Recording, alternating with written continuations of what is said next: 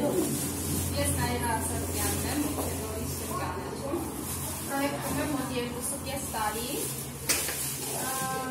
Ես եմ սկզբում համատեղել եմ։ Միջև այս կատարով ես գտնվում էի համագործակցում այդ ֆիրմայի հետ, հաստատված ավակ տնօրենի ստատուսում։ Այս կատարով արդեն բացում եմ արձակյա տնօրենի ստատուսը։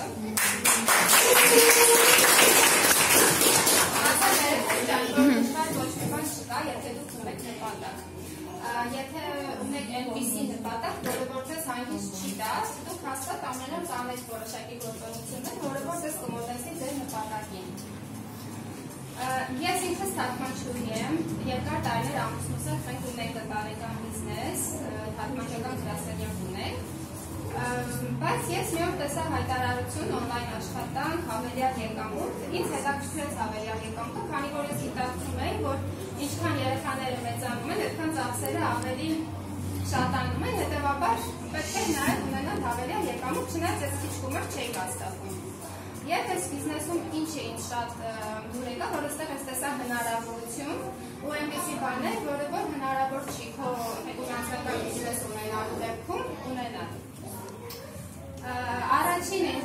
գրավեց, դա ստատուսներն են մեր ֆիրման, որ անդադ աճում է, զարգանում է, հա ինքնագրվում է, ես չեմ սիրում նույն տեղում մնալ։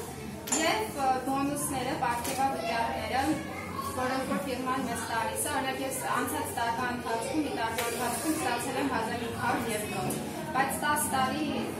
համագործակցելով նոտարների հետ ունենալով անձնական բիզնես, ոչ մեկ ինձ չի բերել այդքան բոնուս տա, որպես ասենք պատաճանաչ աշխատող, սրտացավ, չգիտեմ։ Օրինակ դուք բոլորդ ոնց է չլին ձեր մեջ կան չէ՞ մարդիկ, որ այսօր աշխատում են ինչ-որ լավ ֆիրմայում, գործատուի մոտ, պետական կառույցում, կա ինչ-որ մեկը որ կասի, որ իրան գոնե 500 եվրոյի չափով կծել են։ Չկա։ Կամ էլ ասում են, կամ ասում են կրիզիսա, այդ չկա։ Տեսեք, երեխեք, եկեք մի սերի հնարավորությունների մասին,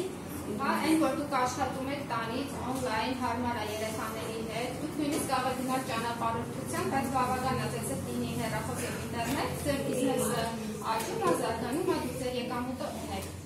Իսկ սովորական աշխատողները իրենք եթե չեն գնում աշխատանքի, իրանք գումար չեն ստանում, ճիշտ է։